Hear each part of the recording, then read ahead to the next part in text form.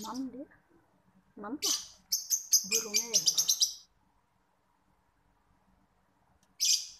makan apa? burung. Burung makan sama marmut. Mama? lebih. Apa? burung makan. Jangan dong seperti itu.